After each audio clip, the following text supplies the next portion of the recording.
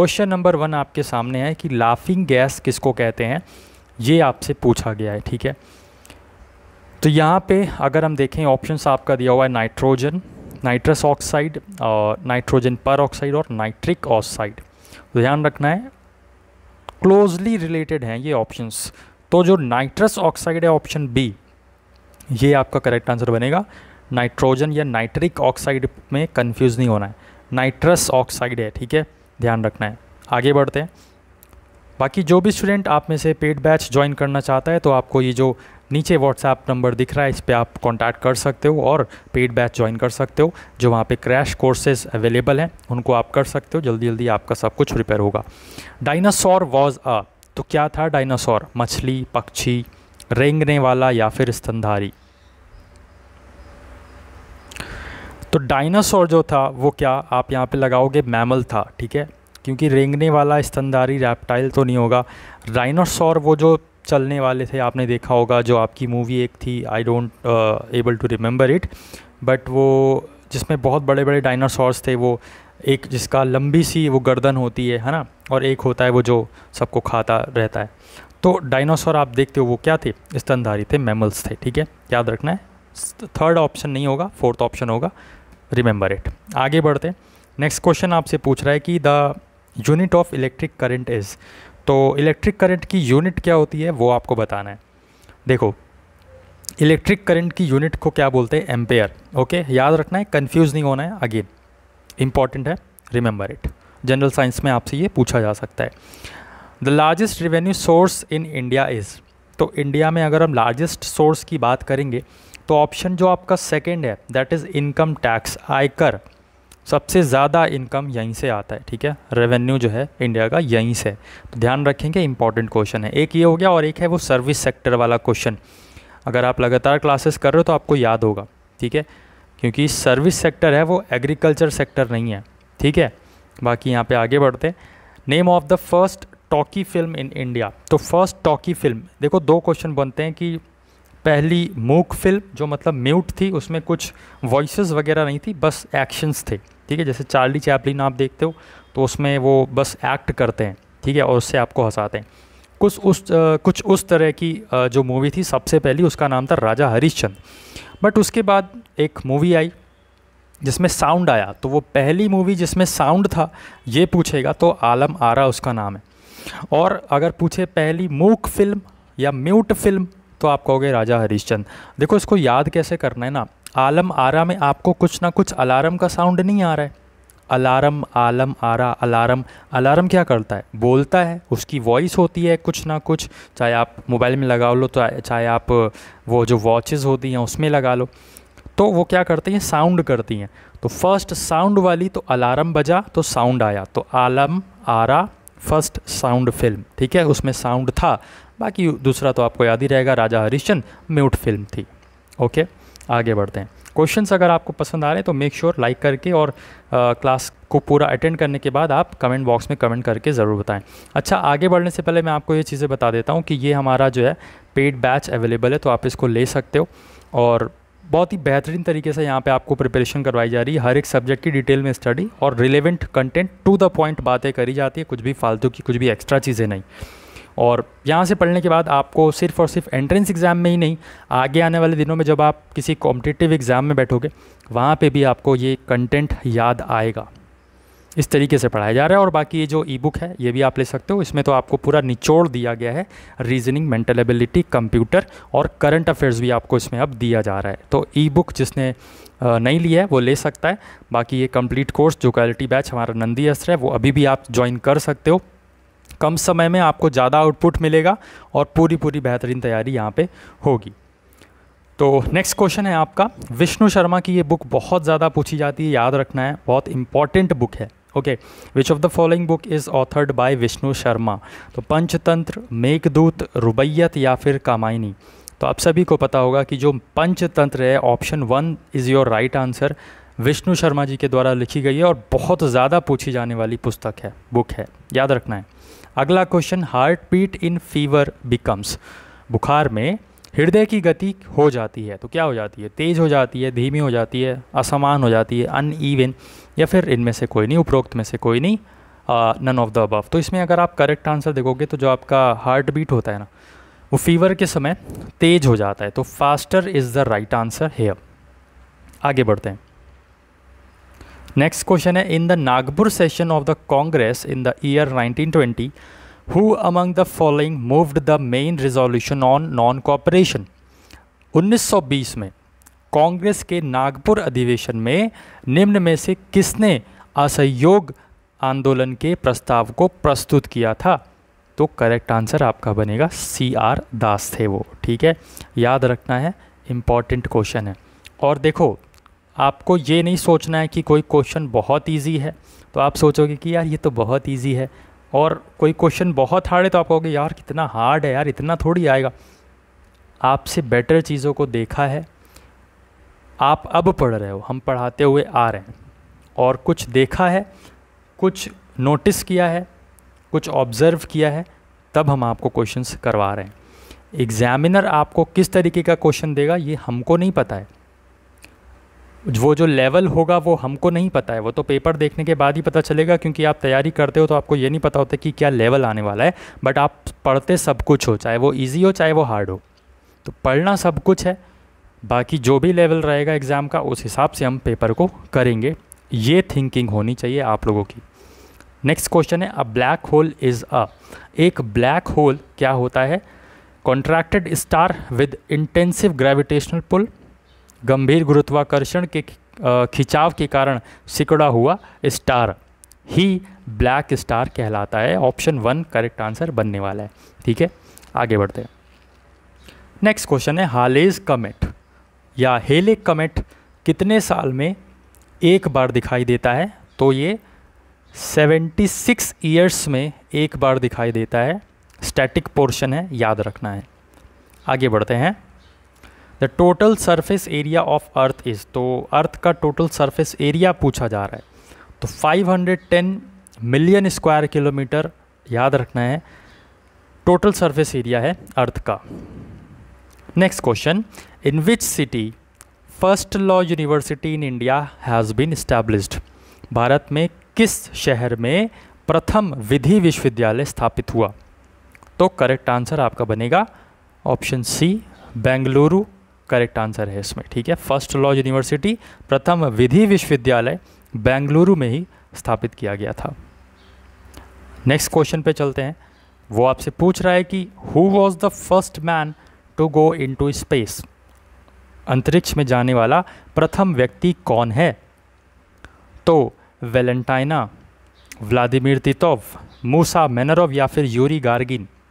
एक बार इस क्वेश्चन को आप पढ़ोगे और याद रहेगा।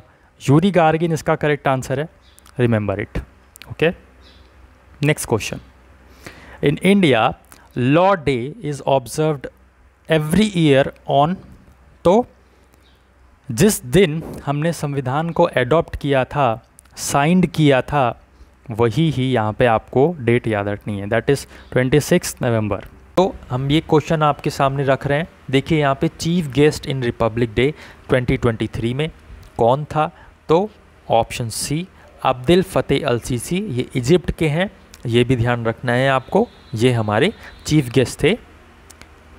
नेक्स्ट क्वेश्चन आपसे पूछ रहा है कि ये जो मेक अमेरिका ग्रेट अगेन ये किसने दिया था स्लोगन तो ये स्लोगन ना, अभी जब डोनाल्ड ट्रंप आए थे प्रेसिडेंट ये जब जो है, इन्होंने बोला था अमेरिका के प्रेसिडेंट तभी उस समय इन्होंने ये चीज़ बोली थी तो ध्यान रखना है डोनाल्ड ट्रंप से ये रिलेटेड है, बाकी बहुत लोग बोलते रहते हैं ये सब चीज़ें, ठीक है?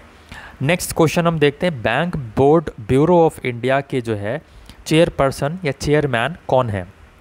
तो आप सभी को है कि सर अंबेडकर जी तो अभी है नहीं जे जे थॉम्सन भी अभी है नहीं, राजनाथ सिंह जो हैं वो डिफेंस मंत्री हैं तो यहाँ पे भानु प्रताप शर्मा एक ही ऑप्शन बनता है तो यही करेक्ट आंसर होना चाहिए तो येस यू आर राइट ठीक है? आगे बढ़ते हैं जल्ली कट्टू बिलोंग्स टू तो ये जल्ली कट्टू जो है ये किस स्टेट से रिलेटेड है? अच्छा जल्ली कट्टू में होता क्या है? ये आपको मैं होमवर्क दे रहा हूँ। ज़रा देखना और बताना कमेंट बॉक्स में कि इसमें क्या होता है, ठीक है? तो जल्ली कट्टू बिलोंग्स टू वैसे आपको याद रखना है। तमिलनाडु से ही ये बिलोंग करता है। ध्यान रखना है, ठीक है? इंपॉर्टेंट क्वेश्चन है बार बार पूछा जाता है।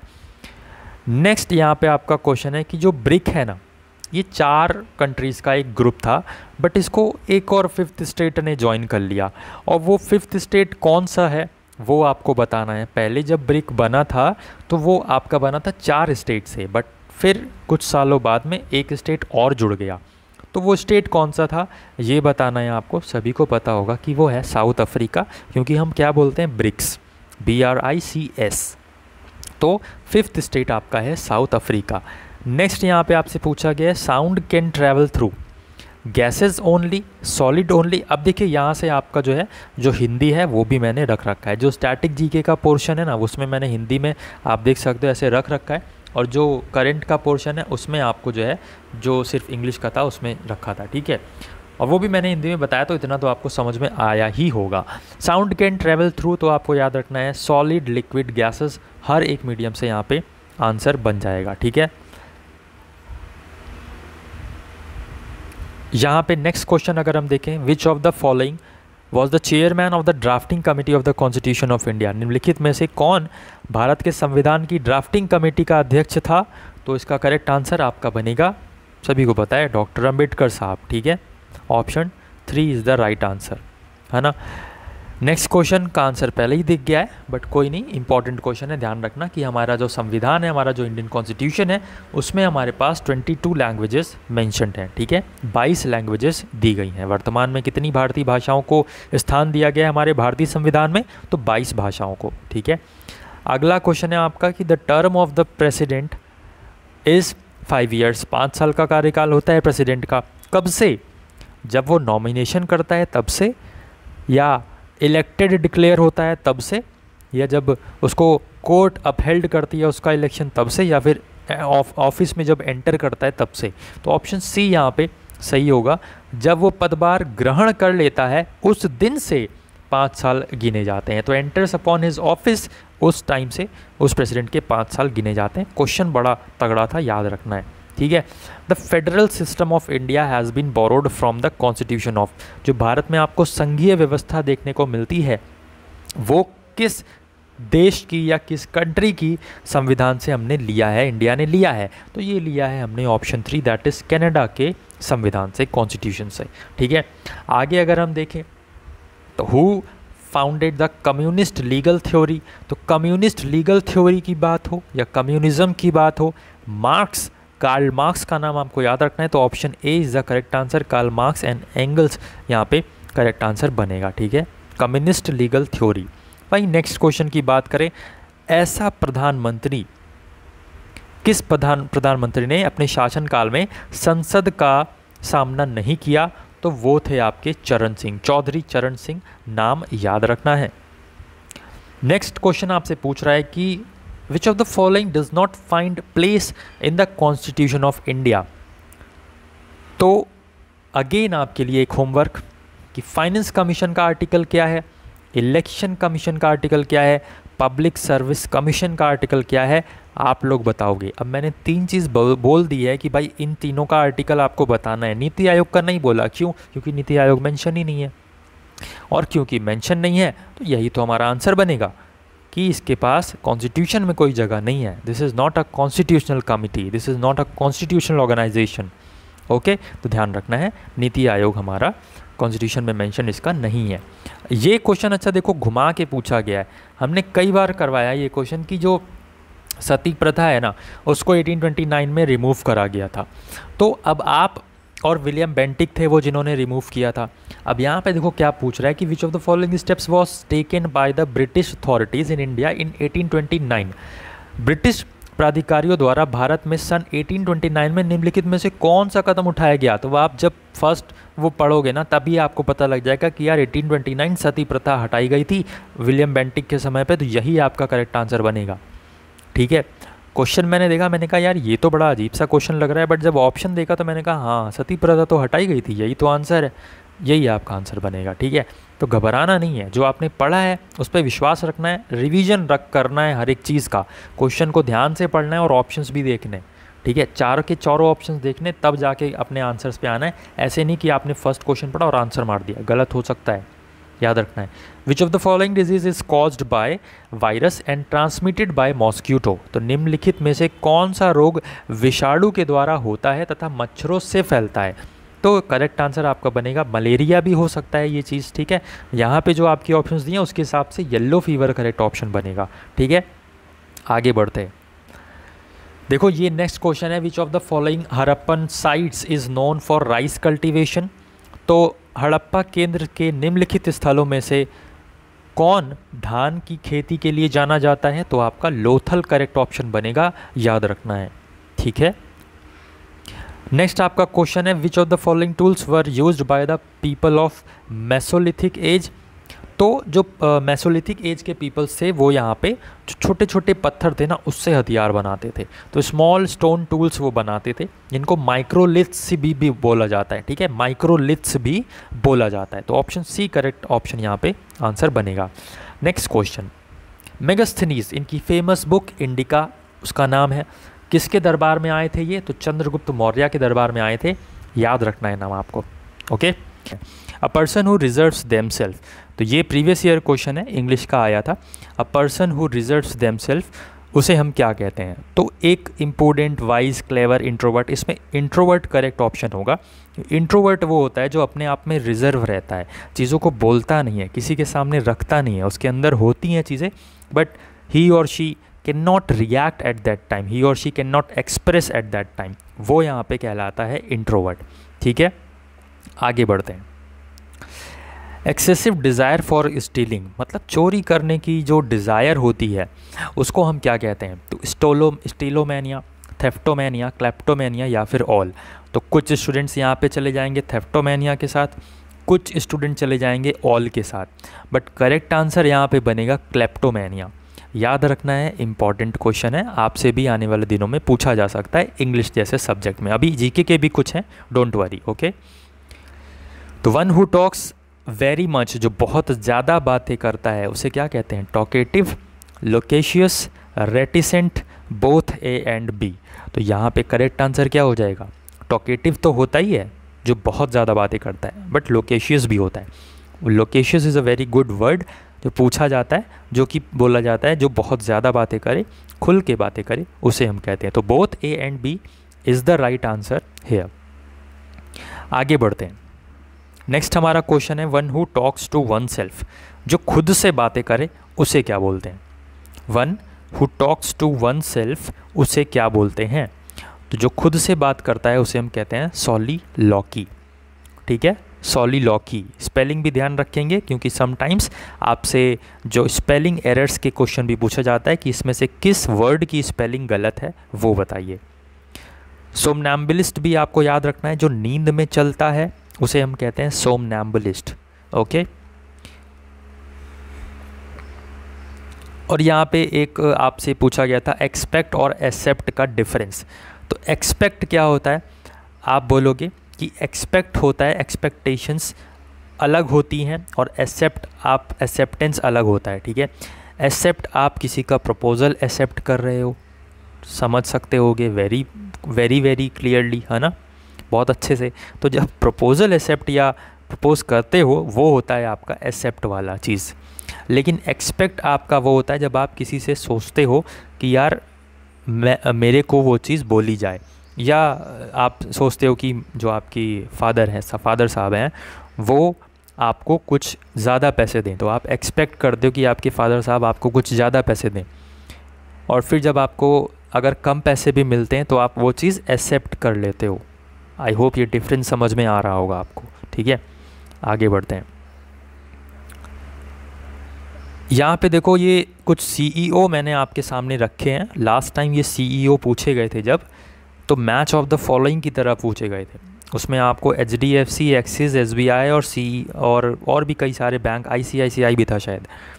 और चार दे दिए थे पर्सनस के नाम और उसमें मैच द फॉलोइंग करवा रहा था कि इसमें से कौन सा पर्सन किस बैंक का सीईओ है। तो करंट में जो अभी सीईओ हैं, अपनी प्लेस को होल्ड करें, वो मैं आपको बता दे रहा हूँ कि जो एचडीएफसी बैंक के सीईओ हैं, इनका नाम है शशिधर जगदीशन एक्सिस बैंक के सीईओ का नाम है अमिताभ चौधरी SBI के चेयरमैन का नाम है दिनेश कुमार खारा और सीईओ जो नीति आयोग के हैं इंपॉर्टेंट हैं बी वी आर सुब्रमण्यम इनका नाम है। याद रखना है इंपॉर्टेंट है। रेलवे मिनिस्टर पूछा गया था, कौन है? तो बहुत सारे स्टूडेंट्स इसमें पीयूष पटेल पे कंफ्यूज होंगे but actual answer is option number A that is Ashwini Vaishnaw. याद रखना है आपको बॉस ठीक है? मुद्रा राक्षस के लेखक पूछे गए थे, कौन है? तो आपको ऑप्शन ए या बी में कन्फ्यूज़न हो सकती है। बट इसमें अगर हम करेक्ट आंसर की बात करें तो Mudra Rakshasa written by option number A that is Vishakha Datta के द्वारा ये लिखी गई है। नेक्स्ट क्वेश्चन आपसे पूछ रहा है कि मंकी पॉक्स डिस्कवर्ड इन सबसे पहले मंकी पॉक्स की डिस्कवरी 1958 में हुई, और ये डेनमार्क जो सिटी है, वहाँ पर ये पाया गया था। अगर हम इंडिया की बात करें तो फ़र्स्ट टाइम इसको केरला में देखा गया था। और ये लास्ट ईयर की बात है, जब ये करंट में चीज़ चल रही थी न्यूज़ में चल रही थी चीज़ें, और वहीं से क्वेश्चन उठा था, हमने इस पर क्वेश्चन पहले करवा दिया था। तो चलिए, अब यहाँ पे हम डाइस के क्वेश्चन भी देखे पूछे गए थे आपसे, ठीक है? डाइस का भी क्वेश्चन एक पूछा गया था। आप अगर रीजनिंग की क्लास देखोगे तो वहाँ से आपको पता चल जाएगा। ये एक आपके सामने सिंपल इंटरेस्ट का बहुत ही सिंपल सा क्वेश्चन पूछा गया था। इसमें आपसे बोला गया कि सिंपल इंटरेस्ट आपको बताना है, अगर 10 परसेंट पर कोई अमाउंट इन्वेस्ट किया गया है दो साल के लिए। तो आप कहोगे 10 परसेंट से दो साल के लिए मतलब हो जाएगा 20 परसेंट और 20 परसेंट अगर हम 6000 का निकालेंगे तो हमारा आ जाएगा बारह सौ रुपये ठीक है? तो इस तरीके से आपका यहाँ पे बारह सौ रुपये आंसर होने वाला है। ओके? आगे बढ़ते हैं। सीआई का भी क्वेश्चन आया था तो ध्यान रखेंगे। सीआई के भी कॉन्सेप्ट आपको पता होना चाहिए कंपाउंड इंटरेस्ट का, चक्रवृद्धि ब्याज का, ठीक है? ये आपसे सीएम के बारे में भी पूछा गया था कि चीफ मिनिस्टर जो है, वो हिमाचल प्रदेश के कौन है? तो अभी मैंने जो प्रेजेंट में है, वो आपको बताया है, उसका आंसर यहाँ पे आपको याद रखना है। सुखविंदर सिंह सुक्खू होने वाले हैं।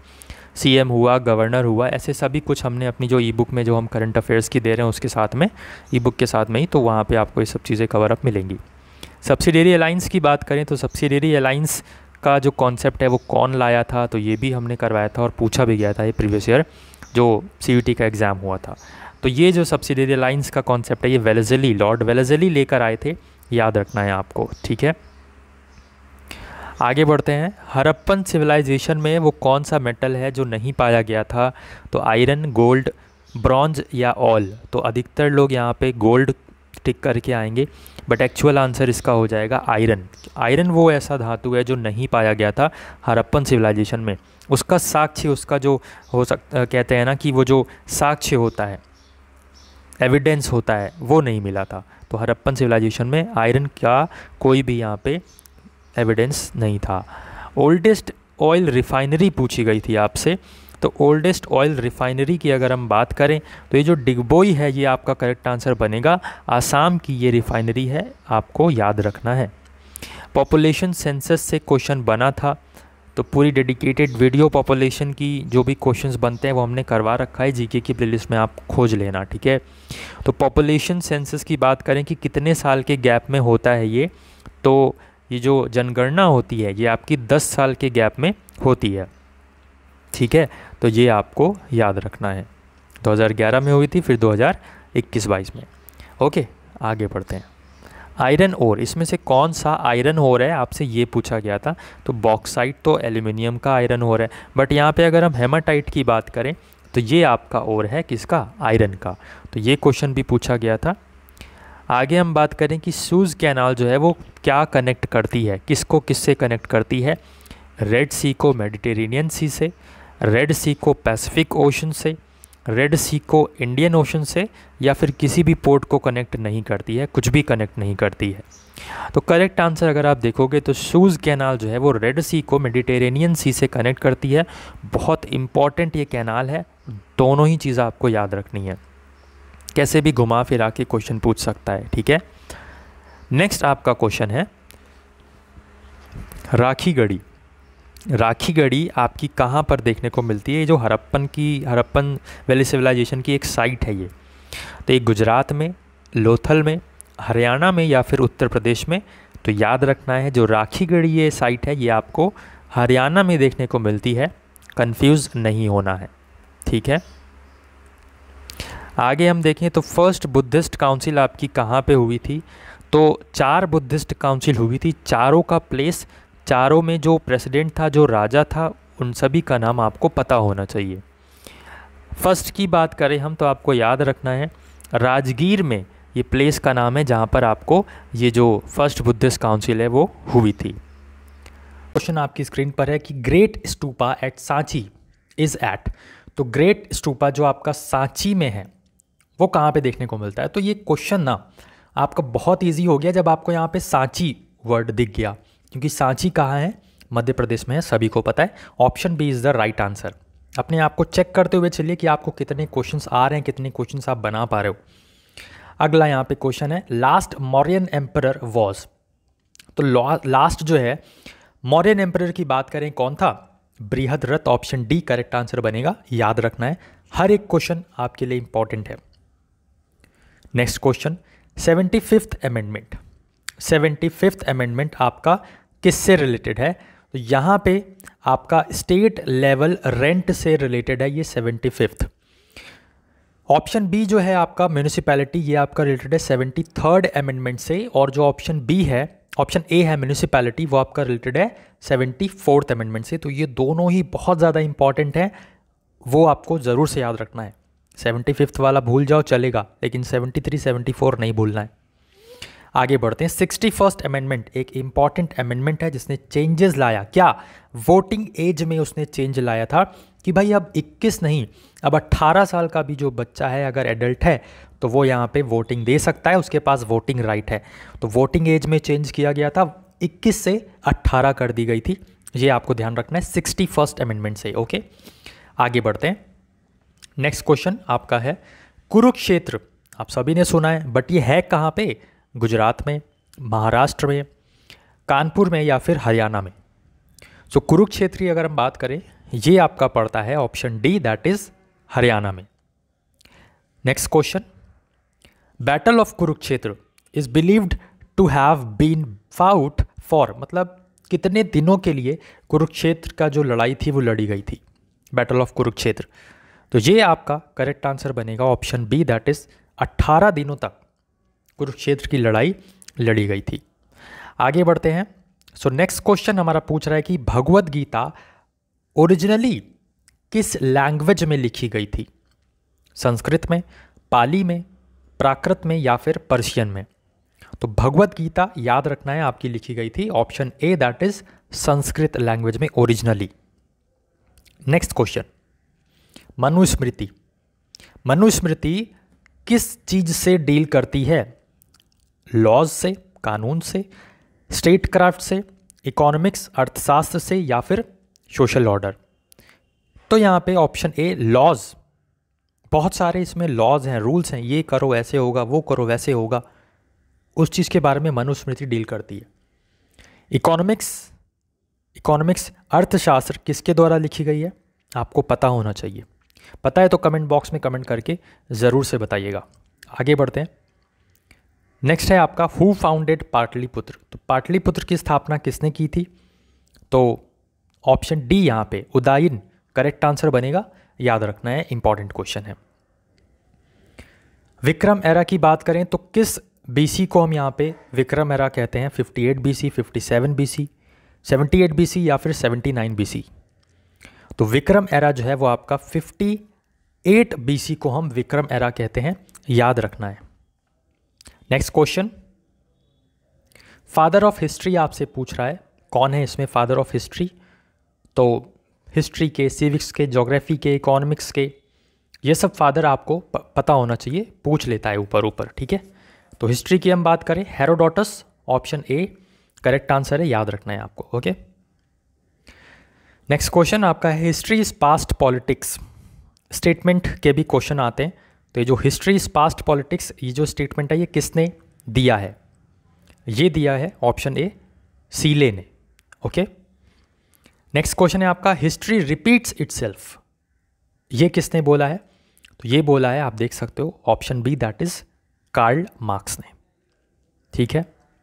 नेक्स्ट क्वेश्चन है आपका carbon dating system was first developed by तो जो कार्बन डेटिंग सिस्टम है, सबसे पहले किसने डेवलप किया था, ये आपसे पूछ रहा है। तो करेक्ट आंसर आपका बनेगा option A that is Libby ने। नेक्स्ट क्वेश्चन जातक कथाएँ जो आपको देखने को मिलती हैं, जातक टेल्स के बारे में देखने को मिलता है, ये किससे रिलेटेड है? जैनिज़्म से, बुद्धिज़्म से, पारसी से या फिर क्षत्रिय से? तो जो जातक कथाएँ हैं, ये आपका रिलेटेड है option B that is Buddhism से। कंफ्यूज नहीं होना है। जे फॉर जातका जे फॉर जैनिज़्म नहीं। जातक कथाएँ बुद्धिज़्म से रिलेटेड है, याद रखना है। नेक्स्ट क्वेश्चन है, अष्टध्यायी। अष्टध्यायी किसने कंपोज की थी? या अष्टध्यायी की जो लेखक हैं, वो कौन है? तो Karl Marx Menander Panini Kautilya correct option यहाँ आपसे बनेगा। Option A is the right answer Panini ने जो है, अष्टध्याय की रचना की थी कंपोज किया था।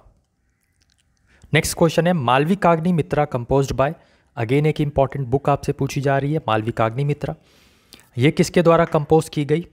तो आप कहोगे ये कंपोज की गई है कालिदास के द्वारा। Option A is the right answer for this question next हम बढ़ते हैं। अगला हमारा है लॉर्ड बुद्धा गॉट एनलाइटेंड ज्ञान की प्राप्ति बुद्धा जी को कहाँ पे हुई थी? तो ज्ञान की प्राप्ति बुद्धा जी को हुई थी कहाँ पे? बोध गया में। बी फॉर बुद्धि B for Buddha B for Bodh Gaya. तो इस तरीके से आप याद रख सकते हो। ऑप्शन बी करेक्ट आंसर यहाँ पे आपका बनेगा। चचनामा की बात करें, ये किस लैंग्वेज में लिखी गई थी, वो लैंग्वेज पूछ रहा है। तो चचनामा अगर आप देखोगे तो ये आपकी पर्शियन लैंग्वेज में लिखी गई थी ओरिजिनली ठीक है? ओरिजिनल कंटेंट आगे हम बात करें तो लोथल इज़ एट लोथल आपको कहाँ पे देखने को मिलता है? तो लोथल जो है, ये एक इंपॉर्टेंट इंदस वैली साइट है। गुजरात में ये बंदरगाह है लोथल नामक आपको देखने को मिलता है। इंपॉर्टेंट है, यहाँ से क्वेश्चन बनता है बार बार बनता है। याद रखना है। हरप्पन सिविलाइजेशन को जो है, कब डेवलप किया गया था, डिस्कवर किया गया था, ठीक है? हरप्पन सिविलाइजेशन को कब डिस्कवर किया गया था? साहनी करके एक हैं जिन्होंने यहाँ पे 1921 में, दयाराम साहनी। दयाराम साहनी जी ने 1921 में डिस्कवरी की थी किसकी? हरप्पन सिविलाइजेशन की। नेक्स्ट हम देखें which of the following is the Indus Valley civilization site found in Uttar Pradesh Uttar Pradesh में आपको इनमें से कौन सी जो साइट है वो आपको उत्तर प्रदेश में देखने को मिलती है? तो जो आपका ऑप्शन ए है आलमगीरपुर, ये आपको देखने को मिलता है उत्तर प्रदेश में एक इंदस वैली साइट जो हमें उत्तर प्रदेश में देखने को मिलती है। यहाँ पे नेक्स्ट क्वेश्चन आपसे पूछ रहा है कि महावीर स्वामी जी का जो जन्म है वो कहाँ पे हुआ था? बुद्धा जी का कहाँ पे हुआ था? लुम्बिनी, नेपाल में। और महावीर स्वामी की बात करें तो इनका जन्म हुआ था ऑप्शन बी, वैशाली में। Next question twenty fourth Tirthankara कौन थे? ऋषभनाथ अरा शीतला या फिर पार्श्वनाथ? ट्वेंटी फोर्थ तीर्थांकर पूछ रहा है, आपको फ़र्स्ट भी पता होना चाहिए, आपको सेकंड भी पता होना चाहिए। तो इसमें यहाँ पे हम बात करें twenty fourth Tirthankar option D Parshvanath हैं। ठीक है? पार्श्वनाथ। नेक्स्ट क्वेश्चन है फ़र्स्ट बुद्धिस्ट काउंसिल आपकी कहाँ पे हुई थी? राजगिरह, पाटलिपुत्र, कौशाम्बी या फिर वैशाली? तो ये जो फ़र्स्ट बुद्धिस्ट काउंसिल है, ये आपकी हुई थी option A that is Rajgir में। सो दैट्स इट क्लास कैसी लगी? ज़रूर से बताइएगा। बाकी यहाँ पे आपको मैंने व्हाट्सएप नंबर शो कर रखा है। तो जो भी स्टूडेंट्स अभी उस ऑफ़र को लेना चाहते हैं जो ऑफ़र वाला बैच है वो ज्वाइन करना चाहते हैं तो इस पर अभी व्हाट्सएप करके अपनी तैयारी को शुरू कर दीजिए। सोचना विचारना बंद कर दीजिए, ठीक है? और एक जगह टिक कर पढ़ेंगे तभी सफलता मिल पाएगी। अदरवाइज़ भटकते रहोगे और आज ये, कल वो तो ऐसे वीडियोस देखने से कुछ नहीं होगा। कुछ नहीं होगा। एक वीडियो चार वीडियोस देखने से कुछ नहीं होगा। आपको लगातार पढ़ना पड़ेगा कंटिन्यूसली पढ़ना पड़ेगा रिवीजन करना पड़ेगा मॉक टेस्ट देना पड़ेगा हर एक सब्जेक्ट पर अपनी पकड़ बनानी पड़ेगी, हर एक टॉपिक पढ़ना पड़ेगा जो आपके एंट्रेंस पर्पज से इंपॉर्टेंट है। सो व्हाट्सएप नंबर आपको दे रखा है। फ्री प्लेलिस्ट जो है वो भी बता दी। पेड वाला जो ऑफ़र है वो भी बता दिया। अब भी अगर आप तैयारी ना कर पाओ तो ये आप ही रिस्पॉन्सिबल होगी, उसके लिए और कोई नहीं। जो हमारा मोटिव है, वो ये कि हम अगर आपको 10 मिनट की भी क्लास दें तो उसमें से कंटेंट फंसना चाहिए। वो कंटेंट कहीं ना कहीं स्टूडेंट को फ़ायदा होना चाहिए। वो 10 मिनट स्टूडेंट के वेट नहीं जाने चाहिए बस। यूज़फुल और रिलेवेंसी कंटेंट यहाँ पे हमारी पहचान है। पिछले दो साल से सिलेक्शंस देते आ रहे हैं, तैयारी करवाते हुए आ रहे हैं। सिलेक्शन दिया है सिलेक्शन दिलाएँगे बट बशर्ते आप उस तरीके की मेहनत करो जो हम चाहते हैं। और आपके लिए तो हम मेहनत कर ही रहे हैं। फ़र्स्ट बैटल ऑफ़ पानीपत कब हुआ था? मैं हिंदी में ही बोल रहा हूँ, ठीक है? तो ये 1526 ईस्वी में हुआ था 1526 एडी में। नेक्स्ट क्वेश्चन है आपका आयरन मैन ऑफ़ इंडिया हम किसे बोलते हैं? आयरन मैन ऑफ़ इंडिया ये आपका जब हिंदी में बनेगा ना तो भी यही लिख के आएगा कि आयरन मैन ऑफ़ इंडिया किसे कहा जाता है। तो इसका करेक्ट आंसर बनेगा क्या? ऑप्शन डी अगर आप कह रहे हो तो गलत हो जाओगे। Option A is the right answer Sardar Vallabh Bhai Patel correct answer बनेगा। Okay moving on next question पे हम चल रहे हैं। फादर ऑफ़ हिस्ट्री आपसे पूछ रहा है कि फादर ऑफ़ हिस्ट्री किसे कहा जाता है? तो ऑप्शंस आपके सामने हैं। सो करेक्ट आंसर आपका यहाँ बनेगा option C that is Herodotus को हम फादर ऑफ़ हिस्ट्री बोलते हैं। एच एच दोनों में कॉमन है तो आप इससे याद रख सकते हो, ठीक है? हिस्ट्री का पिता किसे कहा जाता है? हेरोडोटस को। ताजमहल जो आपको पता है कि शाहजहाँ ने बनवाया था, किस नदी के किनारे बनवाया था? आगरा में बनवाया था, लेकिन किस नदी के किनारे? गंगा नदी के किनारे, यमुना नदी के किनारे, सरस्वती नदी के किनारे या सतलज नदी के किनारे? और जिन स्टूडेंट्स को लग रहा होगा कि, सर, ये तो बहुत हल्के क्वेश्चन हैं। तो भाई, आप, मैंने बोला तो हर एक क्लास करो, तब आपको पता चलेगा। क्योंकि हम आपको डराने के लिए या आपको खुश करने के लिए नहीं पढ़ा रहे हैं। हम इसलिए पढ़ा रहे हैं ताकि आपका सिलेक्शन हो। हम इसलिए पढ़ा रहे हैं ताकि आप जो क्वेश्चंस पढ़ो, उससे आपको फ़ायदा मिले, आपके एंट्रेंस एग्ज़ाम में वो क्वेश्चंस मिले। तो इजी भी रख रहे हैं और हार्ड भी रख रहे हैं और मॉडरेट भी रख रहे हैं। बट जो मेन चीज़ है कि रिलेवेंसी रख रहे हैं हम, जो पिछले दो साल से हम फॉलोअप करते आ रहे हैं रिलेवेंट कंटेंट पढ़ा रहे हैं, जो आपके लिए इंपॉर्टेंट है। ताजमहल की बात करें, यमुना रिवर के किनारे है ऑप्शन बी याद रखना है आपको। ये जो क्लासेस हैं, जितना आप देखोगे, जितनी बार देखोगे, उतनी बार आपके दिमाग में चीज़ें बसती जाएँगी और आपके दिमाग में लॉन्ग टाइम तक रहेंगी। तो फिर आप एंट्रेंस एग्ज़ाम में जब दोगे एंट्रेंस एग्ज़ाम तो कन्फ्यूज़न नहीं होगा, ठीक है? क्योंकि ये मैक्सिमम स्टूडेंट्स का क्वेश्चन आता है कि, सर, मैंने पढ़ा तो आपकी क्लास बट वहाँ पे जब क्वेश्चन आया तो मैं कंफ्यूज हो गया। तो भाई रिवीजन करो कन्फ्यूज़न नहीं होगा ओके गीतांजलि यहाँ पे किसकी फ़ेमस राइटिंग है? रविंद्रनाथ टैगोर की। आपको याद रखना है, जलियावाला बाग जब कांड हुआ था 1919 में तो रविंद्रनाथ टैगोर ही थे वो, जिन्होंने यहाँ पे गीतांजलि के लिए जो इनको अवार्ड मिला था नोबल अवार्ड वो इन्होंने वापस कर दिया था। या ये भी याद रखना है, ठीक है? कौन से कांड के बाद? जलियावाला बाग मैसेकर जलियावाला बाग कांड के बाद 1919 में, ठीक है? प्रेजेंट सीजीआई की बात करें तो चीफ जस्टिस ऑफ़ इंडिया आपके प्रेजेंट में कौन है? तो ये है आपके option number C that is D Chandrachud Dhananjaya यहाँ पे इनका नाम है धनंजय चंद्रचूड़ और ये फिफ्टियथ नंबर के हैं, पचासवें नंबर के हैं, ये भी आपको याद रखना है, क्योंकि क्वेश्चन ये यहाँ से भी बन सकता है कि अभी जो प्रेजेंट में सी है, ये कौन से नंबर के हैं? या डी वाई चंद्रचूड़ कौन से नंबर के सी हैं? तो पचासवें नंबर के हैं, ये भी आपको याद रखना है। यहाँ पे टी का मतलब पूछ रहा है, मैंने बहुत सारी क्लासेस में करवाया है तो मैंने बोला है कि भाई नीति का जो फुल फॉर्म है वो आपको याद रखना है, क्योंकि इसमें हो सकता है आपसे फुल फॉर्म पूरा पूरा पूछ ले। हो सकता है आपसे पूछे एन का मतलब क्या है आई का मतलब क्या है टी का मतलब क्या है, या आई का मतलब क्या है, ठीक है? तो इसमें आपका टी का पूछ रहा है, इसका मतलब होता है national institution for transforming India national N for national I for institution T for transforming और आई फॉर इंडिया तो ये इसका फुल फॉर्म है। यहाँ पे टी पूछा गया तो transforming is the right answer अगला क्वेश्चन हम देखते हैं प्लानिंग कमीशन कब आया? तो प्लानिंग कमीशन को ही चेंज करके यहाँ पे नरेंद्र मोदी साहब ने 1 जनवरी 2015 को नीति आयोग का फॉर्मेशन किया था। क्वेश्चन ये भी बनता है कि नीति आयोग का फॉर्मेशन कब हुआ? तो 1 जनवरी 2015 में नरेंद्र मोदी जब उस समय प्रधानमंत्री थे पीएम थे, उन्होंने किया था। लेकिन प्लानिंग कमीशन जो उसके फादर साहब हैं किसके? नीति आयोग के फादर साहब हैं ठीक है? नीति आयोग का पिता कह सकते हो। तो ये प्लानिंग कमीशन 1950 में आया था 1950 में ये भी आपको याद रखना है। दोनों ही यहाँ पे प्लानिंग कमीशन और नीति आयोग के जो इंपॉर्टेंट डेट्स हैं ये इंपॉर्टेंट हैं याद रखना है। नेक्स्ट आपका पूछ रहा है एल एम सिंघवी कमेटी जो है ये आपकी कब आई थी? तो एल एम सिंघवी कमेटी 1909, 1989, 1986 या 1978 तो एल एम सिंघवी कमेटी जो है, ये आपकी आई थी। Option number C is the right answer 1986 में यहाँ पे ये कमेटी आई थी। अच्छा एक क्वेश्चन मैं आपको ये होमवर्क के लिए दे रहा हूँ जो आपको दिख रहा है। ऑप्शन ए 1909 तो 1909 को हम किस नाम से बुलाते हैं? ठीक है? Chelmsford reform Minto Morley reforms या फिर Bhagat Singh reforms Hindustan republic reforms किस नाम से बुलाते हैं? ये आपको बताना है, ठीक है? क्योंकि इंपॉर्टेंट है। नेक्स्ट हम देखते हैं सेवेंटी थर्ड अमेंडमेंट आपका किससे रिलेटेड है? म्यूनिसपैलिटीज़ से, पंचायती राज से लोकलाइजेशन से या अर्बनाइजेशन से? तो ये जो आपका सेवेंटी थर्ड अमेंडमेंट है, ये रिलेटेड है पंचायती राज से। और 1993 भी आपको इसका ईयर याद रखना है। सेवेंटी फोर्थ वाला जो था सेवेंटी थर्ड के बाद सेवेंटी फोर्थ वाला तो वो था आपका म्यूनिसपैलिटीज़ से रिलेटेड ठीक है? 1993 वो भी उसका ईयर सेम था।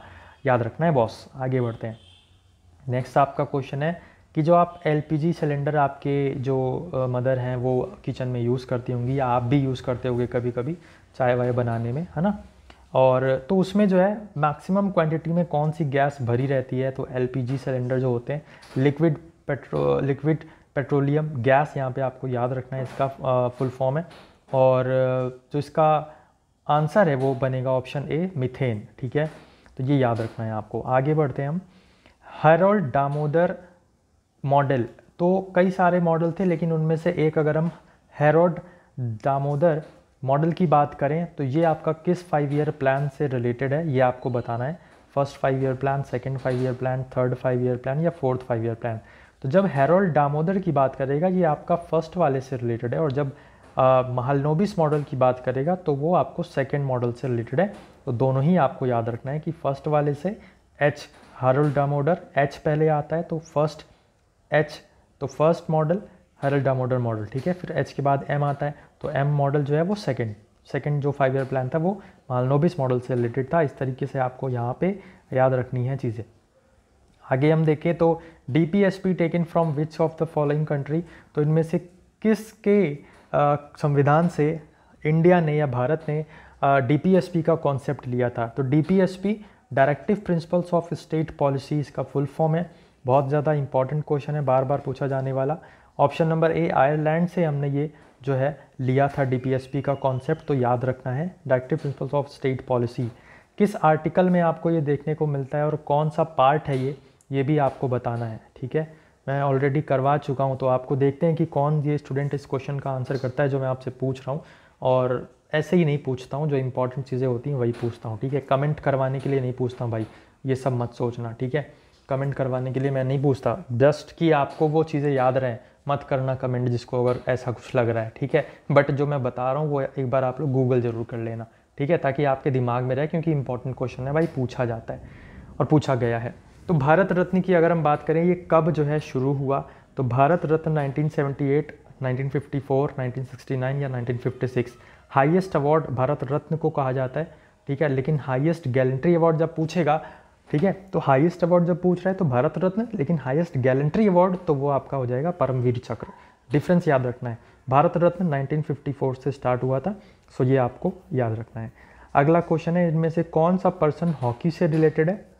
थोड़ा सा इजी क्वेश्चन है, लेकिन ऑप्शन ए और ऑप्शन डी में आपको कन्फ्यूज़न हो सकती है but most of the people I think will go with option A ठीक है? तो ये आपका करेक्ट आंसर है कि ध्यानचंद जी जो हैं, वो हॉकी से रिलेटेड है। यहाँ पे ट्रॉफी भी देखने को मिलती है, ध्यानचंद ट्रॉफी, हॉकी से रिलेटेड है, ठीक है? अब ये क्वेश्चन है कि इसमें जो प्रेसिडेंट है वो किसको अपॉइंट करता है, ठीक है? सी को करता है या गवर्नर को करता है या इलेक्शन कमिश्नर को करता है सबको करता है? तो अगर आप देखें तो प्रेसिडेंट जो है ये सभी को अपॉइंट करता है। ऑप्शन डी करेक्ट आंसर होगा, क्योंकि प्रेसिडेंट जो है वो सी चीफ जस्टिस ऑफ़ इंडिया को भी अपॉइंट करता है। फिफ्टियथ नंबर के अभी हमारे धनंजय वाई चंद्रचूड़ या डी वाई चंद्रचूड़ हैं फिफ्टियथ नंबर के, पचासवें नंबर के। गवर्नर आनंदीबेन पटेल हैं, इलेक्शन कमिश्नर राजीव कुमार है, ये भी आपको याद रखना है, ठीक है? इंपॉर्टेंट क्वेश्चन है, ये सभी को कौन अपॉइंट करता है? प्रेसिडेंट अपॉइंट करते हैं। तो राइडर कप आपका किससे रिलेटेड है, यहाँ पे आपको बताना है। क्रिकेट हॉकी फुटबॉल या फिर गोल्फ तो आई होप सो आपने यहाँ पे आंसर इसका पकड़ लिया होगा। तो देखते हैं यहाँ पे किसका किसका आंसर सही है। ऑप्शन डी जो है आपका गोल्फ करेक्ट आंसर होने वाला है। अगर आपका गोल्फ सही आंसर आपने चुना था तो आप एक नंबर ज़रूर अपने आप को दीजिए और कॉपी पेन लेकर बैठिए। एक एक नंबर आप आपको अपने आप को देते जाइए और जो गलत हो तो वहाँ पर आप अपना ज़ीरो भी ज़रूर दीजिए ठीक है? अभी से जब आप ऑनेस्ट रहेंगे तो आपको रिज़ल्ट दिखेगा कि थर्टी नंबर में से आपके कितने मार्क्स स्कोर हो रहे हैं और उस हिसाब से आपको कितनी मेहनत करनी है। सो so, यहाँ पे राइडर कप किससे रिलेटेड है? गोल्फ से। अब गोल्फ से आप ध्यान रखिएगा कि गोल्फ क्या होता है? यहाँ पे और भी कई सारे कप हैं इसके, गोल्फ के तो वो भी हम आपको इस वीडियो में बताने वाले हैं। नेक्स्ट यहाँ पे अगर हम देखें तो कनाडा कप आपका किससे रिलेटेड है? यहाँ पे किस स्पोर्ट्स से रिलेटेड है Canada cup cricket hockey football या फिर गोल्फ तो सही आंसर इसमें हो जाएगा आपका option number D, golf. Again, जैसे मैंने अभी आपको बताया कि गोल्फ के बहुत सारे और भी कप हैं तो वो सभी आपको देखने को मिलेंगे। एक कंप्लीट वीडियो होने वाली है कंप्लीट टेस्ट होने वाला है। तो कनाडा कप जो है आपका, किससे रिलेटेड है? गोल्फ से रिलेटेड है। और इंपॉर्टेंट सेक्शन है, इस सेक्शन से ट्रॉफी से क्वेश्चन पूछा ज़रूर जाता है। चाहे आप सी e दे रहे हो, चाहे आप कोई भी एंट्रेंस एग्ज़ाम में बैठने वाले हों एल यू के या फिर किसी भी नेशनल पीजी या फिर किसी भी यूनिवर्सिटी कॉलेज के एंट्रेंस एग्ज़ाम में। नेक्स्ट यहाँ पे देखें तो Walker cup is related to which of the following Walker cup आपका किससे रिलेटेड है? यहाँ पे बताना है आपको क्रिकेट हॉकी फुटबॉल या फिर गोल्फ और क्वेश्चंस पसंद आ रहे हो, हमारी जो मेहनत है वो आपको पसंद आ रही है और लग रहा है आपको कि हाँ हम डेडिकेटेड हैं, आपके तैयारी के लिए, आपकी प्रिपरेशन के लिए। तो मेक श्योर sure आप अगर फैमिली में हैं तो फैमिली को सब्सक्राइब करके बेल बटन ज़रूर दबाएँ, ताकि आने वाले दिनों में जो भी क्लासेस मॉडल पेपर्स टेस्ट जो भी होगा, सब कुछ कंटेंट आपको फ्री ऑफ़ कॉस्ट हम प्रोवाइड कर रहे हैं और आगे भी प्रोवाइड करते रहेंगे। सो ज़रूर ज्वाइन करें, अभी सब्सक्राइब करके बेल बटन ज़रूर दबाएँ और वीडियो को लाइक ज़रूर कर दें। सो वॉकर कप आपका यहाँ पे अगेन गोल्फ से रिलेटेड है।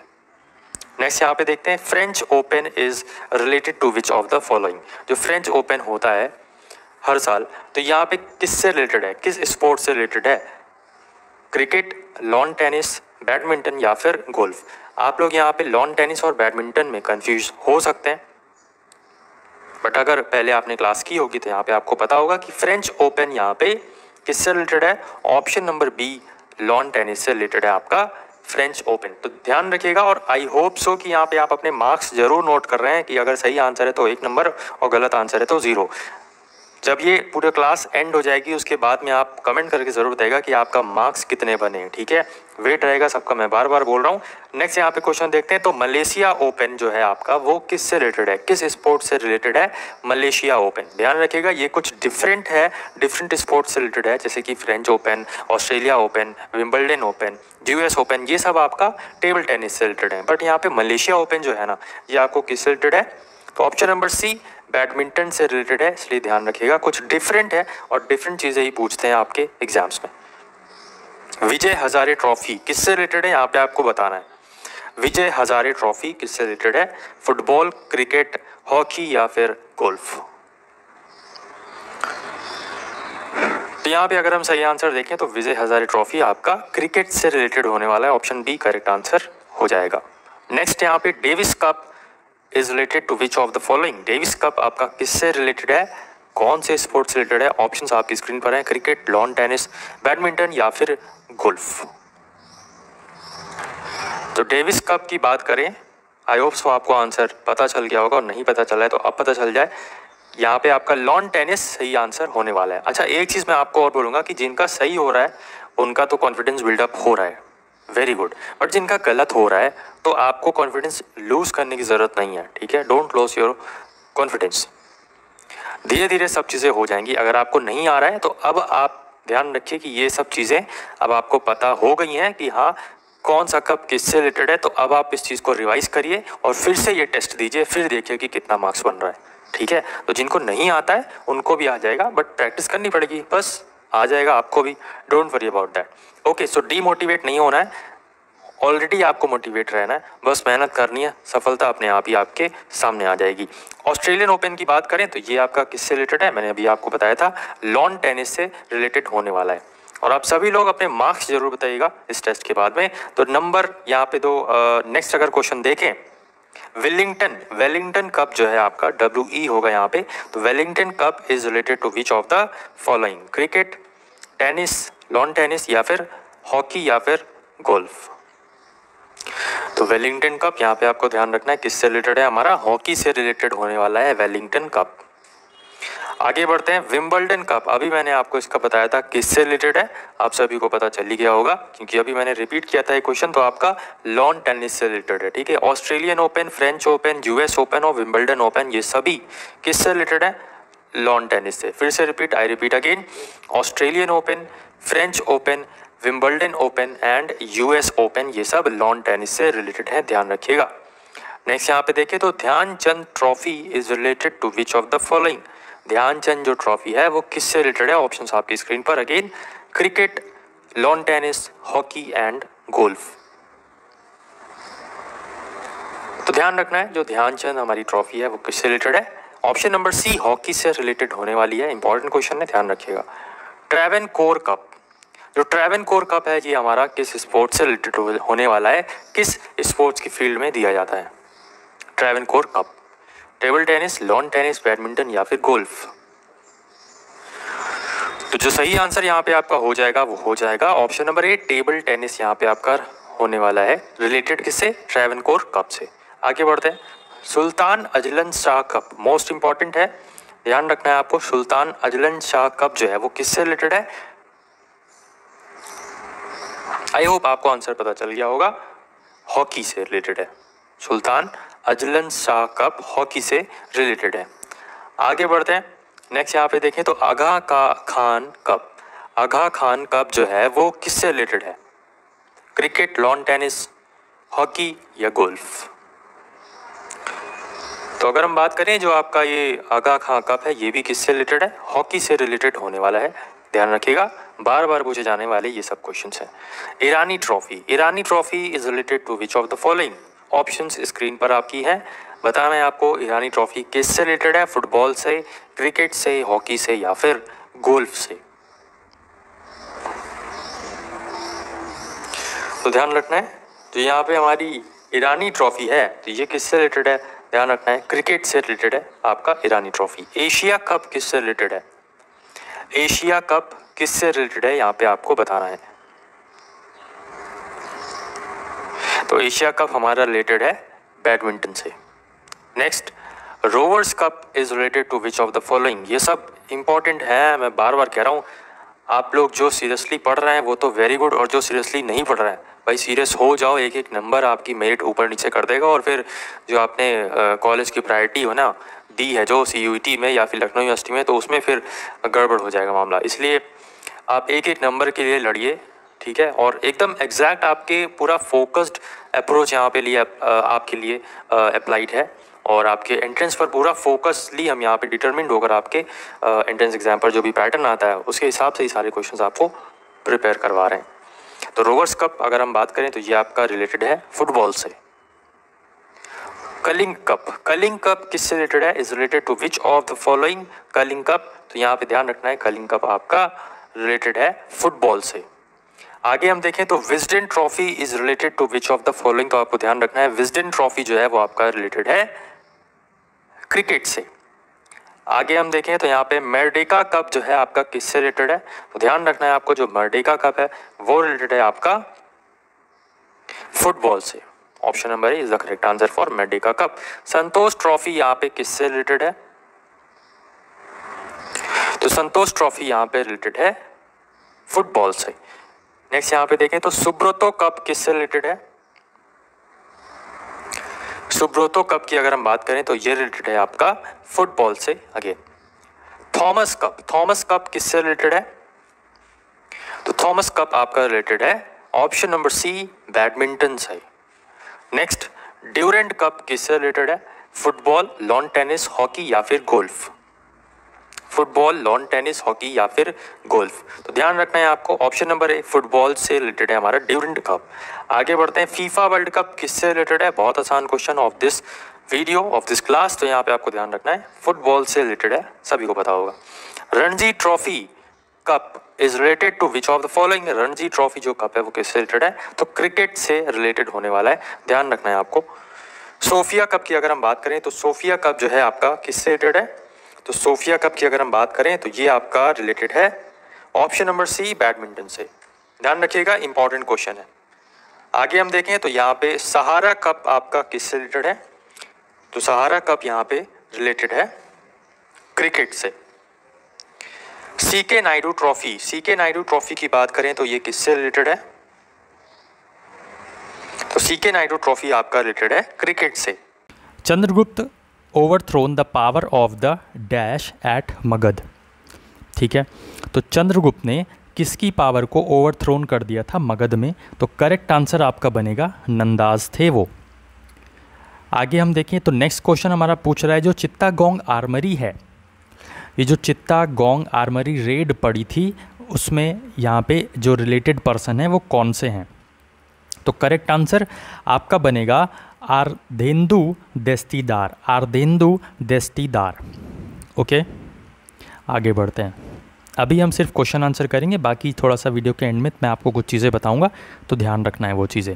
बाकी मेहनत फुल टू होनी चाहिए, अब बहुत कम समय है तो ध्यान रखेंगे। जे एन नेहरू रोट तो जवाहरलाल नेहरू ने क्या लिखा था, ये आपसे यहाँ पे पूछा जा रहा है, कौन सी बुक इसमें से लिखी थी? मैक्सिमम स्टूडेंट्स इसमें से ऑल आंसर टिक करके चले आएँगे और गलत आंसर हो जाएगा। करेक्ट आंसर आपका बनेगा अ बंच ऑफ़ लेटर जो ऑप्शन नंबर ए है ये भी आपको ध्यान रखना है। कालीदास की ये जो है रच, रचना है ध्यान रखना है। Malavikagnimitra. Next question देखें सी ऑफ़ पॉपीज़ की बात कर रहा है रिटर्न बाय किसके द्वारा लिखी गई है सी ऑफ़ पॉपीज़ तो करेक्ट आंसर इसमें से क्या होगा? That is option C Amitabh Ghosh. Okay आगे बढ़ते हैं। नेक्स्ट क्वेश्चन है, गुड़ी पड़वा, ये आपका एक फेस्टिवल है, ठीक है? कल्चरल फेस्टिवल है, ये किस स्टेट से रिलेटेड है, ये आपसे पूछा जा रहा है। तो अगर हम देखें, गुड़ी पड़वा, ये आपका रिलेटेड है option D that is Maharashtra. आगे हम बढ़ें तो नेक्स्ट क्वेश्चन हमारा पूछ रहा है, कालबेलिया, ये जो है फोक डांस है।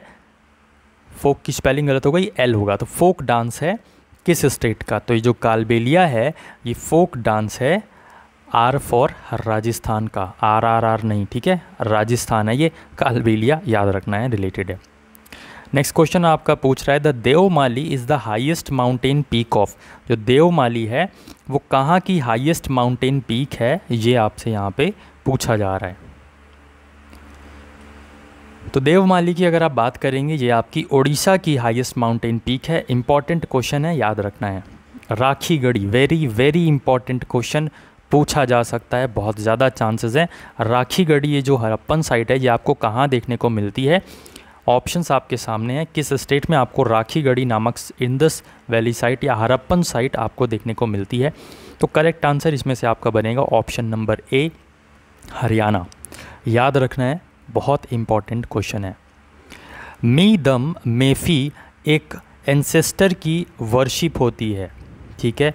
जो हमारे पूर्वज होते हैं, उनकी पूजा की जाती है, ठीक है? जैसे पितृपक्ष होता है तो वैसे यहाँ पे मी दम मीफ़ी है, लेकिन ये मी दम मीफ़ी है कहाँ का फेस्टिवल? या आप बोल सकते हो वर्शिप फेस्टिवल कहाँ का है? ये आपको यहाँ पे बताना है। तो असम, अरुणाचल प्रदेश आंध्र प्रदेश या उत्तर प्रदेश। तो करेक्ट आंसर इसमें आपको बनेगा option number A, that is Assam का ये जो है मीदम मेफी एक एंसेस्टर वर्शिप फेस्टिवल है। सत्रिया डांस से बहुत ज़्यादा क्वेश्चन पूछा जाता है। तो सत्रिया डांस कहाँ से रिलेटेड है? ये भी जो है आसाम से रिलेटेड है। याद रखना है आपको, ठीक है? आगे बढ़ें तो नेक्स्ट आपका है who argued that in the face of high deficit people save more किसने कहा था कि जब हाई डेफिसिट होता है, ठीक है, जब मंदी हाई होती है तो जो पीपल होते हैं, बहुत ज़्यादा सेव करते हैं, बचाते हैं पैसा। तो ये आपके लिए बहुत ज़्यादा इंपॉर्टेंट के साथ साथ कन्फ्यूजिंग क्वेश्चन भी है, क्योंकि ऑप्शन सारे ही सारे को जो है वो इकोनॉमिक्स से रिलेटेड हैं। तो ऑप्शन ए डेविड रिकार्डो ने ये कहा था कि in the face of high deficit people save more people ज़्यादा सेव करते हैं। David Ricardo is the right answer अब देखो ये दो चीज़ हैं। जीडीपी में से जब हम डिप्रिसिएशन माइनस करते हैं तो हमारा एनडीपी मिलता है। एनडीपी मतलब नेट डोमेस्टिक प्रोडक्ट ठीक है? ग्रॉस डोमेस्टिक प्रोडक्ट में से जब हम डेप्रिसिएशन माइनस करते हैं तो नेट डोमेस्टिक प्रोडक्ट मिलता है। और जब जीएनपी में से हम डेप्रिसिएशन माइनस करते हैं तो net national product gross national product में से अगर हम डेप्रिसिएशन माइनस करेंगे तो नेट नेशनल प्रोडक्ट मिलेगा। और ग्रॉस डोमेस्टिक प्रोडक्ट में से अगर हम यहाँ पे डिप्रिसिएशन माइनस करेंगे तो नेट डोमेस्टिक प्रोडक्ट मिलेगा। डायरेक्ट क्वेश्चन आएगा कि जीएनपी में से हम क्या सब्सट्रैक्ट करें कि हमको एनएनपी मिलेगा तो आप कहोगे डिप्रिसिएशन जैसे भी पूछ सकता है कि जीएनपी में से अगर हम डिप्रिसिएशन को सब्सट्रैक्ट करेंगे तो हमें क्या मिलता है तो आप कहोगे NNP मिलता है। ठीक है तो इस तरीके से घुमा फिरा के क्वेश्चन पूछा जाएगा, याद रखना है। ये आपका क्वेश्चन है कि approximate how much percentage of total water on the surface of earth is accounted for by the oceans तो 97 परसेंट ऑफ़ वाटर जो है वो ओशंस के द्वारा आपका यहाँ पे अकाउंट किया जाता है। नेक्स्ट है आपका during the rule of which of the following dynasties did Timur और तामेरियान इन्वेडेड इंडिया इन 1398 तो वो था तुगलक डायनेस्टी या तुगलक वंश के समय में तैमूर ने इन्वेट किया था। तो बहुत ज़्यादा इंपॉर्टेंट क्वेश्चन तुगलक ने इन्वेट किया था थर्टीन सॉरी तुगलक के समय में, तुगलक डायनेस्टी में 1398 में तिमूर ने इन्वेट किया था इंडिया पे, ठीक है? लूटा था। हंड्रेड अमेंडमेंट जो सवा आपका संविधान संशोधन देखने को मिलता है, किसके द्वारा साइंड किया गया था? मनमोहन सिंह, प्रणब मुखर्जी गांधी जी या फिर ऑल तो ये जो सवा संविधान संशोधन था अमेंडमेंट था, ये साइन किया गया था। प्रणब मुखर्जी के द्वारा उस समय प्रेसिडेंट थे वो, ठीक है? आगे बढ़ते हैं। Swaraj is my birth right and I shall have it ठीक है? स्वराज मेरा जन्मसिद्ध अधिकार है और मैं इसे लेकर रहूँगा।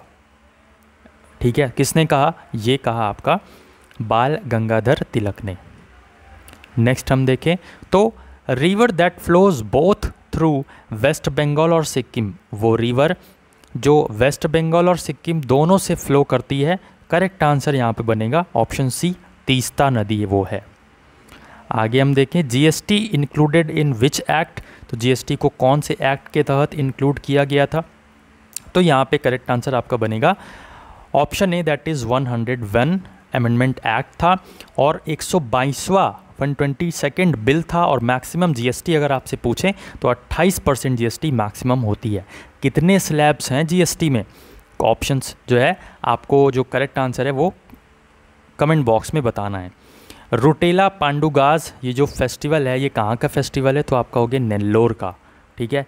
Folk song famous in West Bengal, Assam and Bangladesh तो उसका नाम है भवैया। ये कहाँ का फ़ेमस फोक सॉन्ग है? तो वेस्ट बंगाल का भी है, असम का भी है और बांग्लादेश का भी है। आर्टिकल जो कि ओबीसी के बारे में बात करता है तो उसका नाम कौन सा आर्टिकल है? 338 बी का वन। जो कि ओबीसी के बारे में बात करता है। अल्तुनिया ने रज़िया सुल्तान को इम्प्रिजन कर लिया था। कहाँ पर? तो किला मुबारक इन भटिंडा में अल्तुनिया ने रज़िया को जेल में डाल दिया था। नेक्स्ट हम देखें तो हिंदू मैरिज एक्ट कब आया था? इंपॉर्टेंट है। 1955 में हिंदू मैरिज एक्ट आपको देखने को मिलता है। याद रखेंगे इंपॉर्टेंट क्वेश्चन होने वाला है। ये ईयर्स से भी क्वेश्चन बनते हैं। आई होप आपको क्वेश्चंस और क्लास करने में मज़ा आ रही होगी। बहुत इंपॉर्टेंट क्वेश्चंस हैं। ये अभी आपको नहीं पता चलेगा। जब आप एंट्रेंस एग्ज़ाम दोगे, तब पता चलेगा। और ऐसा भी नहीं है कि एक वीडियो से आपको सब कुछ कवर हो जाएगा। लगातार आपको हर एक वीडियो देखनी है, जो आ रही है, वो भी और जो ऑलरेडी लगी हुई है प्लेलिस्ट में बनी हुई है, वो ऐसा ही नहीं है। ठीक है? बढ़िया माल उसमें है। वो माल फूक लो। ठीक है? सही डायरेक्शन में बोल रहा हूँ भाई।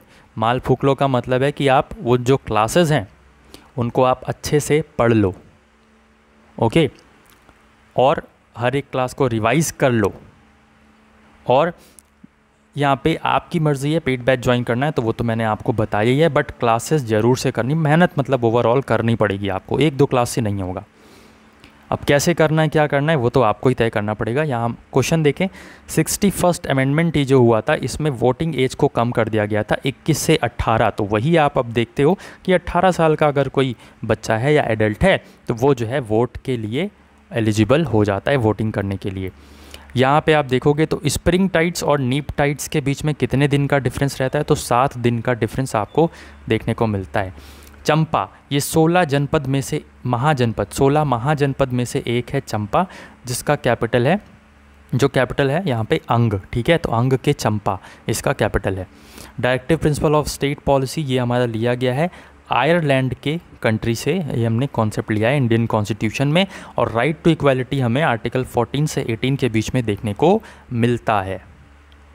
रीऑर्गेनाइजेशन ऑफ़ स्टेट्स की बात करें तो 1956 में हमें रीऑर्गेनाइजेशन ऑफ़ स्टेट्स देखने को मिलता है और अगर हम एज ऑफ़ भगत सिंह की बात करें, जब उन्हें फांसी पे लटकाया गया था, तब वो 23 साल की उम्र थी, उनकी याद रखना है आपको। हिंदू सक्सेशन एक्ट जो है वो 1956 का, वो पास कब हुआ? तो वो पास हुआ 2005 में। First Indian to win the miss deaf world title तो था यहाँ पे आंसर बनेगा आपका option number D that is Vidisha Baliyan. Name of Babur was Babur का ओरिजिनल नेम अगर आपसे पूछा जाए तो जाहिरुद्दीन, याद रखना है option B is the right answer next आपसे अगर पूछा जाए कि इस गोवा को एक राज्य का दर्जा कब मिला, किस संशोधन से मिला तो वो मिला फिफ्टी सिक्स अमेंडमेंट और 1987 में ये गोवा राज्य बना, ठीक है? Poverty and un British rule in India एक इंपॉर्टेंट बुक है, जो कि दादा भाई नारोजी के द्वारा लिखी गई है। मकर विलक्कू, ये जो फेस्टिवल है ये आपका केरला का एक बहुत ही फ़ेमस और मोस्ट नोन मोस्ट आग्ड बार बार पूछे जाने वाला क्वेश्चन है फेस्टिवल है मकर विलक्कू, केरला का। इलेक्शन कमीशन किस आर्टिकल्स में आता है? तो इलेक्शन कमीशन आता है आपका article number 324 option B is the right answer और अथर्वेदा में कितने खंड हैं? तो अथर्वेदा में 20 खंड हैं, याद रखना है आपको। मूसी रिवर किसकी ट्रिब्यूटरी है? तो मूसी रिवर कृष्णा रिवर की एक ट्रिब्यूटरी है। ताकि जो भी स्टूडेंट बैच को ज्वाइन करना चाहते हैं पेड बैच ज्वाइन करना चाहते हैं तो डिस्क्रिप्शन बॉक्स में साथ ही यहाँ पे आपको दिख रहा होगा येलो कलर की जो स्ट्रिप है, उस पर लिखा हुआ है। व्हाट्सएप नंबर हमारा तो वहाँ से आप हमसे कॉन्टैक्ट करके चीज़ों को ज्वाइन कर सकते हो। क्रैश कोर्सेज़ की तरह अवेलेबल है और ई बुक भी एक अवेलेबल है तो ई बुक में आपको कंप्यूटर का सब कुछ निचोड़ रीजनिंग का निचोड़ और जो मेंटल एप्टीट्यूड है कॉमर्शियल मैथ्स है, उसका निचोड़ मिल रहा है। तो वो तो आप लोग ज़रूर से लीजिए, उसमें वन लीनियर क्वेश्चन हमने दे दिए हैं और बहुत कुछ आपको वहाँ पे देखने को मिलेगा, ठीक है? करंट अफेयर्स की भी अब जो ई बुक है, उसके साथ दी जा रही है। उसका भी लिंक आपको डिस्क्रिप्शन बॉक्स में दिया हुआ है। स्टार्ट करते हैं हम। यहाँ पे देखो फ़र्स्ट क्वेश्चन है कि displays a list of utility configure the computer system and install software and hardware तो कंट्रोल पैनल है वो एक ऑप्शन जहाँ से आप ये सब काम करते हो। तो इनडायरेक्टली कहीं ना कहीं आपसे इस तरीके से भी क्वेश्चंस पूछता है। अगर आपने थोड़ा बहुत कर रखा है, जैसे कि हैंडलिंग कर रखी है डेस्कटॉप की या लैपटॉप की तो आप लोग आंसर कर ले जाओगे। Video graphics array connect connectors are those which connect the monitor to a computer's video card and has कितने होल्स होते हैं? तो जो कनेक्टर होता है वीडियो ग्राफिक्स एरे को वीजीए जो कनेक्ट करता है, उसको 15 होल्स होते हैं उसमें। यह आपको याद रखना है। While dash data transfers from the customer's machine to the server आप लोग जो आपका फेसबुक है, जो आपका इंस्टाग्राम है, या मैं मान लेता हूँ आपका व्हाट्सएप ही है, आप क्या करते हो? इमेज को सेंड करते हो या अपलोड करते हो तो क्या होता है, वो आप आप कस्टमर हो, ठीक है? कस्टमर की मशीन से मतलब आपकी मशीन से आपके मोबाइल फ़ोन से वो पिक्चर वो इमेज वो वीडियो वो ऑडियो कॉल वो वॉइस मैसेज आप भेज रहे हो या कह सकते हो आप अपलोड कर रहे हो। फेसबुक पे आप अपलोड करते हो इमेजेस ठीक है? इंस्टाग्राम पे आप इमेजेस को अपलोड करते हो, ठीक है? तो वही पूछा गया है। While uploading data transfers from customers मतलब आपसे और सर्वर को मतलब इंस्टाग्राम के सर्वर को चली जाती है वो इमेज ठीक है?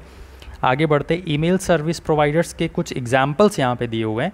जैसे आपसे क्वेश्चन बन सकता है कि आपको चार पाँच ऑप्शन दे दे और पूछेगा, इसमें से कौन सा ईमेल सर्विस प्रोवाइडर है? या उल्टा भी पूछ सकता है, इसमें से कौन सा ईमेल सर्विस प्रोवाइडर नहीं है? तो आपको ये एग्जाम्पल्स थोड़े से ध्यान रखने हैं आउटलुक जी और यैंडेक्स ओके बाकी और भी कई सारे हैं याहू एंड रेडिफ करके, है ना? तो ध्यान रखना है। आगे बढ़ते हैं। हाइपर लिंक का शॉर्टकट क्या होता है? बहुत स्टूडेंट्स यहाँ पे कंट्रोल प्लस एच लगा देंगे, जो कि गलत हो जाएगा। देखो हाइपर लिंक का जो शॉर्टकट होता है, वो होता है कंट्रोल प्लस के और जो अगर आप बात करोगे कंट्रोल एच से क्या होता है तो वो होता है रिप्लेस का, ठीक है? याद रखना ये। कस्टम प्रिंट अगर आपने कोई एक पीडीएफ है आपके पास आपको चाहिए कि यार इसमें फ़र्स्ट पेज तो काम का नहीं है मेरे सेकेंड पेज काम का है और थर्ड पेज काम का है। तो आप कस्टम प्रिंट का ऑप्शन जब आप कंट्रोल पी करोगे तो कस्टम प्रिंट का ऑप्शन आएगा। उसमें आप जो पेजेस आपको प्रिंट करने उन पेजेस का आप नंबर डाल दो एंटर कर दो तो वो वो पेजेस आपके निकल आएँगे। तो वो ऑप्शन कौन सा है? कस्टम प्रिंट का, ठीक है? याद रखना है। नेक्स्ट है आपका F5 जो F5 आपका फ़ंक्शन की होता है कीबोर्ड में, उससे क्या होता है? देखो, दो चीज़ें होती हैं। आप जब नॉर्मल डेस्कटॉप पे अपना डेस्कटॉप पे नॉर्मल हैंडलिंग कर रहे होते हो डेटा वगैरह की तो वहाँ पे आप रिफ़्रेश कर सकते हो, जब आप डेस्कटॉप पर होगे। और जब आप ब्राउज़र खोले होगे, तब उस समय आप F5 दबाओगे तो आपका वो जो ब्राउज़र है, वो रिलोड होने लगेगा पेजेस तो ये दोनों चीज़ आपको ध्यान रखनी है F5 से ही होता है। ठीक है? ट्रोजन वायरस की मैंने क्लास ली थी और उसमें बताया था कि ऐसा वायरस जो आपको बोले कि, देखो, ये ये डाउनलोड कर लो ये ऐप डाउनलोड कर लो या ये सॉफ्टवेयर डाउनलोड कर लो आपकी मेमोरी एकदम फ्री हो जाएगी। कभी कभी आपको मैसेज आता होगा कि your memory is full please download this software X Y Z so that आपका जो मेमोरी uh, है वो खाली होकर देगा वो है ना? तो वैसे जो मैसेजेस होते हैं ज़बरदस्ती के आपके सामने जो होते हैं कि ये डाउनलोड कर लो डाउनलोड कर लो वो ट्रोजन टाइप का होता है। ये मेलवेयर का नाम है। तो याद रखना है आपको ठीक है? जो आपकी कंप्यूटर का इफ़ेक्ट करेगा डिस्गाइज सॉफ्टवेयर एक धोखेबाज वाला सॉफ्टवेयर होता है जो जस्ट आपकी इन्फॉर्मेशंस को ट्रैक करता है और फिर आपको हैकिंग वगैरह हो जाती है आपकी ठीक है? तो ध्यान रखेंगे। Below title bar contains the formulas and features needed to create data intense spreadsheet तो जो वहाँ पे आपको बहुत सारे फीचर्स देखने को मिलते हैं जैसे कि आपको आ, देखो टाइटल बार होता है फिर होता है मीनू बार और फिर मीनू बार के नीचे क्या होता है? रिबन, ठीक है? तो रिबन वो चीज़ होती है जहाँ पे आपको सारे कमांड्स और फार्मूलाज, फीचर्स वगैरह आपको देखने को मिलते हैं। तो ऐसा प्लेस जहाँ पे आपको फार्मूला, कमांड, फीचर्स वगैरह देखने को मिलते हैं, उसको क्या कहते हैं? तो रिबन कहते हैं, ये याद रखना है। सबसे पहले आपका टाइटल बार आता है, जहाँ पे आपका डॉक्यूमेंट का नेम लिखा रहता है, मिनिमाइज़ का बटन रहता है, मैक्सिमाइज़ का बटन रहता है और क्लोज़ का बटन रहता है। उसके बाद आपका आता है मीनू बार, ध्यान रखना है, मीनू बार के बाद आता है कौन सा? रिबन। और फिर यहाँ पे साइड में स्क्रॉल बार होता है। स्क्रॉल में भी वर्टिकल बार स्क्रॉल और हॉरिजेंटल स्क्रॉल होता है। फिर सबसे नीचे होता है स्टेटस बार, जहाँ पे आपको दिखाता है कि कितने वर्ड्स आपने टाइप किए हैं, कौन सी आपकी नंबर की शीट खुली हुई है एंड सो ऑन ठीक है? तो ये सब चीज़ें थोड़ा सा याद रखना है। Shading option in M S Word three sixty five तो जैसे कि आपने कुछ लिखा टेक्स्ट जैसे कि ये आपको ऊपर दिख रहा है कंप्यूटर क्वेश्चंस लिखा है। कंप्यूटर क्वेश्चंस को मैंने सेलेक्ट किया और फिर ये एक शेडिंग ऑप्शन आता है, उस शेडिंग ऑप्शन को यूज़ करके मैंने उसका जो बैकग्राउंड है ना, वो ब्लैक कर दिया। तो याद याद रखना है, जब हम शेडिंग ऑप्शन यूज़ करेंगे तो वो जो टेक्स्ट के बिहाइंड में मतलब टेक्स्ट के पीछे में जो बैकग्राउंड है उसका, वो चेंज हो जाता है, ठीक है? आगे बढ़ते हैं हम। आगे बढ़ने से पहले मैं आपको ये चीज़ बता दूँ कि ये ई बुक के बारे में मैंने बता ही दिया है आप लोगों को, ठीक है? बाकी ये पेड बैच है, इसको भी आप ले सकते हो। और क्रैश कोर्स की तरह की यहाँ पे आपको चीज़ें देखने को मिलेंगी बहुत डिटेल में। और हर एक सब्जेक्ट का कंटेंट जो है वो दिया जा रहा है। पूरी प्रॉपर तैयारी आपकी सिस्टमेटिकली हो जाएगी। डिस्क्रिप्शन बॉक्स में आपको सभी चीज़ों का लिंक दिया हुआ है, हम आगे बढ़ते हैं। तो नेक्स्ट अगर हम बात करें if a value of cell column A and row ten is to be referred in a function और फॉर्मूला तो अगर आपका जैसे कि कॉलम ए है, जो कॉलम होती हैं, वो खड़ी खड़ी होती हैं। स्प्रेड शूट स्प्रेड शीट आप खोल के देखना। जो खड़े खड़े होते हैं ना, वो होते हैं कॉलम और जो लेटे लेटे होते हैं, वो क्या होते हैं? रोज़ और कॉलम और रोज़ का इंटरसेक्शन क्या कहलाता है? सेल ठीक है? यहाँ से भी क्वेश्चन बनता है बॉस अच्छा।